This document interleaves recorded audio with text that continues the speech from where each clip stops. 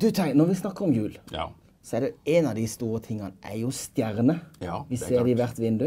Absolutt. Vi ser det i alle butikker. Og hvor kommer dette fra? Og hvor kommer det egentlig fra? Ja, det er Betlehemstjerna. Ja. Yes. Det er ganske interessant.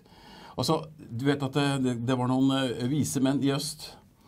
Eh, og da skulle de finne eh, kongen. Ja. Og det benytta de seg av stjernene. Han, eh, de spurte etter gikk det Herodes, for de regna jo med at om det skal, det er det født en konge. Da er det på et slott. Og på den tida så var vise menn det var vel litt sånn astrolog, vise menn flinke. Det tror nok det. Ja. Jeg tror du er inne på noe der. Utdanna folk. Eh, ja de var, de var jo glad, de, og de hadde studert eh, planeter og sånn, så Ja, det kunne ja. de mye om. Ja. Og eh, de, de, noe av dette er kanskje spekulasjoner, og noe av dette er, er vitenskap og kunnskap. Hva var det de faktisk så, tror man?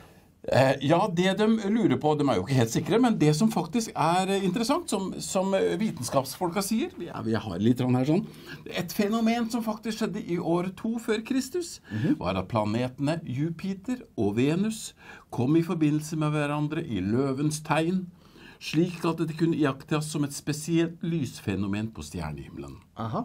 Og det skjedde hvor mange ganger? Det skal også? Ja, det skal ha skjedd tre ganger. Aha. I løpet av ganske kort tid, i løpet av en måneds tid.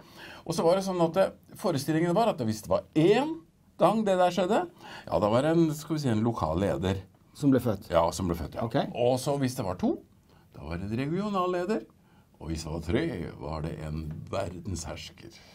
Å ja, og så så de også hvor den stjerna var, og det leder de til Israel. da. Ja, de regna med at det var der de skulle finne den. Og til slutt så fant de den. Gjorde det. Men de fant den ikke på Slottet.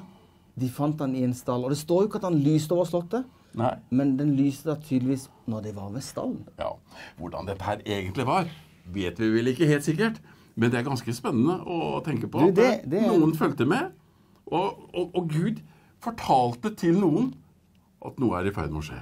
Og slike spor setter Gud, har Gud sagt faktisk i mange Ja. nasjoner. Mm. Og det var et av de måtene han på en måte vekker en nasjon på. Ja, absolutt. Fantastisk. Skaper interesse for sin egen ære. Det ble en god jul.